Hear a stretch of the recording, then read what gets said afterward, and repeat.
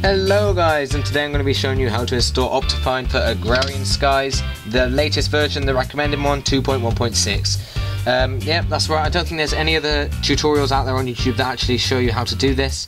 Um, I did have a look, I sort of had to guess and uh, go my own way about it, but um, I've managed to do it and I'm going to prove to you uh, in a minute that I can do it. So, first of all, oh, didn't mean to close that down, I'm sorry. Uh, First of all, you want to make sure you've downloaded the Agrarian Skies, the recommended version, or 2.1.6, uh, and you know launch it. Make sure it's all ready to go. Then just close the rest down. Open up Chrome, Firefox, you know Internet Explorer, whatever you know um, internet you've got. Go to the top or in Google, whatever. Type Optifine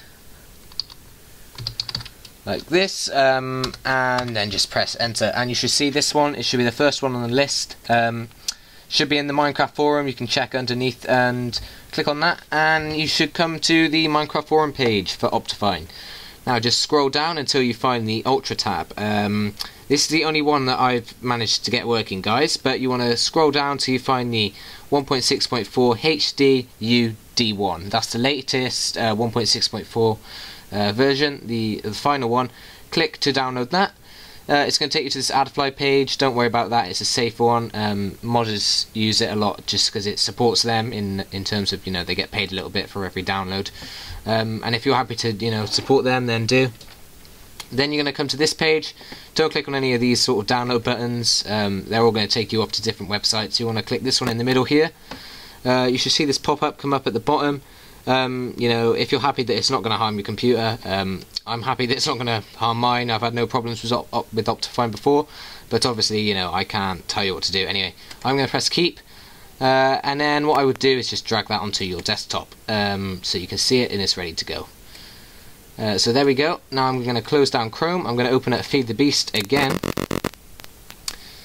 And what I'm going to do is head over to the Options tab, and you should see this pathway here. Basically, this is your install folder um, you're going to want to go to this. Uh, so, you know, clicking on this isn't actually going to work because it doesn't take you to your documents. It takes you still in Feed the Beast. So, go ahead and locate that. You can actually copy and paste this into your documents area if you really wanted to. But uh, I know where mine is, so uh, I'm going to go there now.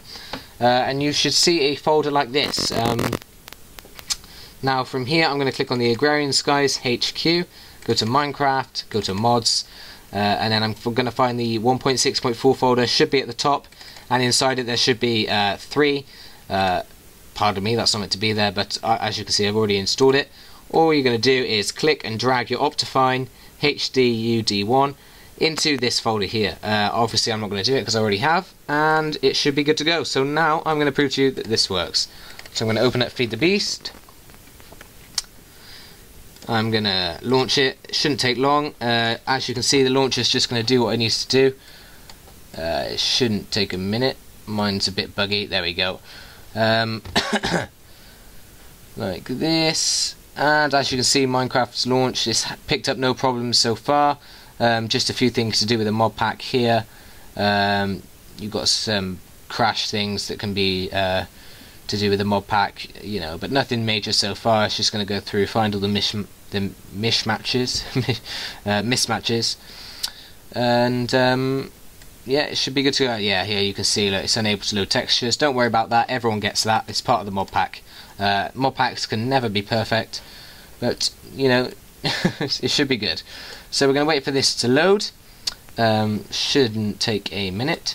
Hopefully my recording software can uh, capture it. Uh, if not, then I'll say if it doesn't work. But yeah, here we go. I'm going to go to options, I'm going to go to video settings, and you can see that Optifine is fully installed.